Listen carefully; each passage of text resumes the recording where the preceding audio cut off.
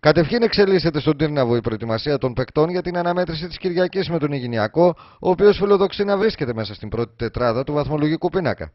Μετά λοιπόν την νίκη Βόλου και την Κέρκυρα, ένας ακόμη ιδιαίτερα ικανός και φιλόδοξος αντίπαλος επισκέπτεται το Αλκαζάρ, με τους Κιανέριθρους να βασίζονται στο αίτητο σερί των 8 αγώνων, προκειμένου να εκμεταλλευτούν την ψυχολογία και την σκληρή έδρα τους για να φτάσουν αυτή τη φορά σε νίκη. Η απουσία του τραυματία τέλου είναι το μοναδικό σοβαρό πρόβλημα που αντιμετωπίζει ο Άγγελος Διγκόζης, ωστόσο έχει εμπιστοσύνη στο σύνολο του ρόστερ, που άλλωστε ανταπεξήλθε περίφημα χωρίς τον έμπειρο στόπερ στις δύο τελευταίες αναμετρήσεις.